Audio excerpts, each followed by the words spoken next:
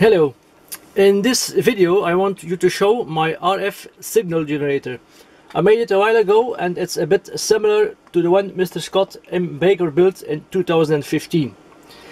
And it's based on the schematics in the magazine Nuts and Volts from June 2014.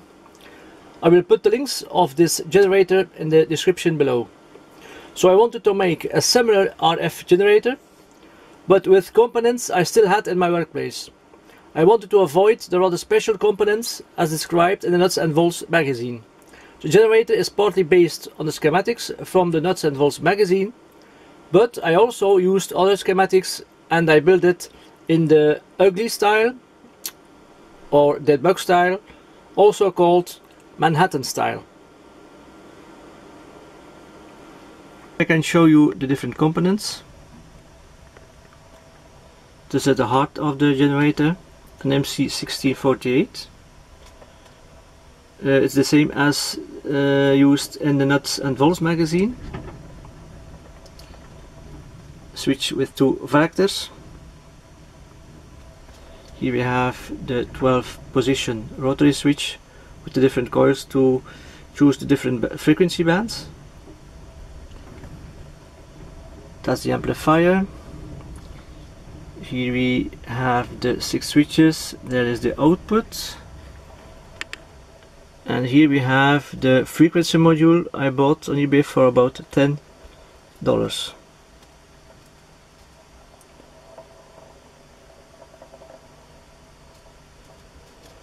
Uh, so far I use a power supply of 12 to 13 volts to to run it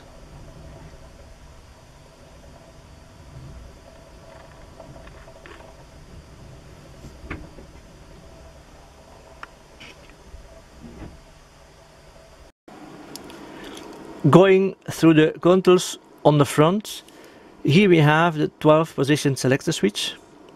It allows me to select 12 different bands. The lowest band begins at approximately 150 kHz.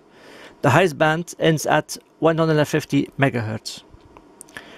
With this knob, I can vary the frequency to get the desired value in the chosen band. I used a 10 turn potentiometer to obtain a fine tuning. So the first band, second, third,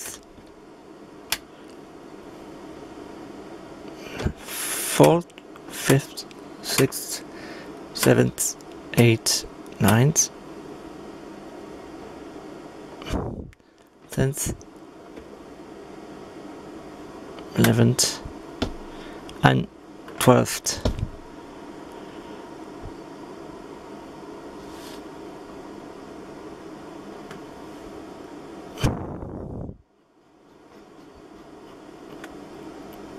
So we get to the maximum frequency at about 150 megahertz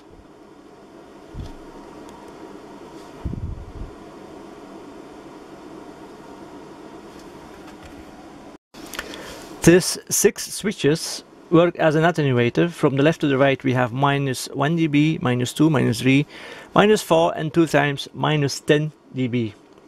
With all the possible combination of these switches, I can weaken the signal from minus 1 dB to minus 30 dB in steps of 1 dB. For instance, minus 4 dB, minus 5, minus 7, minus 10, minus 20, minus 30 dB.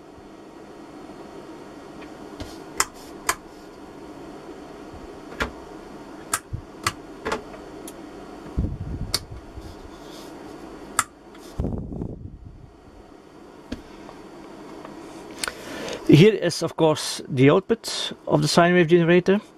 It has an impedance of 50 ohms.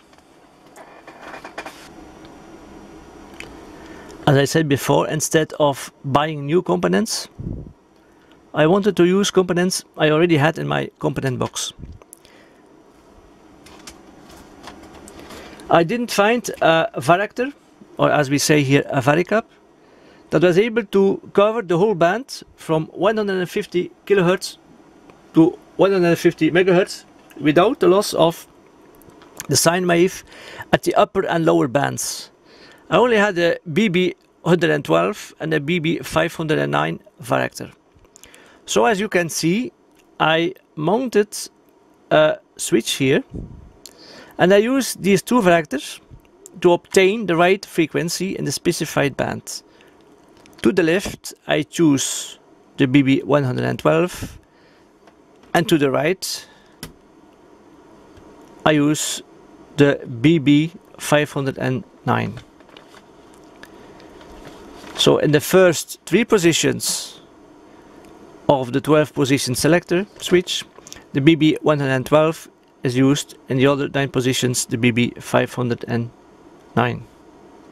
In the magazine Nuts and Volts, they show how to use various fixed resistors that are switched in as the frequency bands are switched to obtain a leveled amplitude output over the whole frequency range from 150 kHz to 150 MHz. I didn't do that, but I use this AGC automatic gain control function to vary the amplitude in let's say a more continuous way so that together with the dB switches I can choose any value that I want.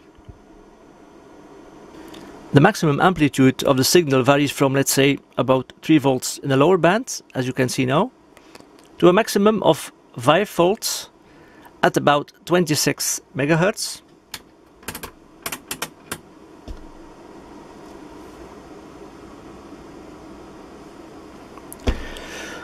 to the lowest value at the highest frequency about 500 millivolts.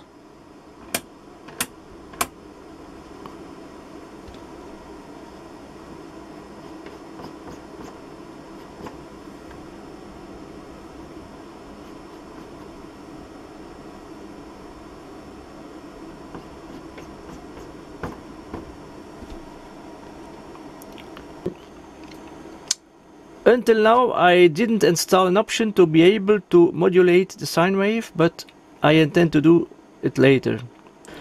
Maybe the frequency of this sine wave generator isn't the most stable, but it's okay for my purposes. So uh, that was a quick review. I think there's still uh, some work to complete it. Uh, once finished I may post another video of it that's all for now. So bye